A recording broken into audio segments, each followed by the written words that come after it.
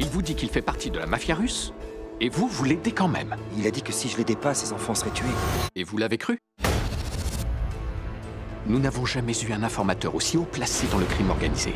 Emmenez ma famille à Londres Où les cachez-vous? Le problème, c'est qu'il ne veut négocier avec nous qu'en votre présence. Il veut qu'on fasse quitter le pays à sa famille, rien d'autre. Ils les tueront. Pourquoi vous m'avez choisi?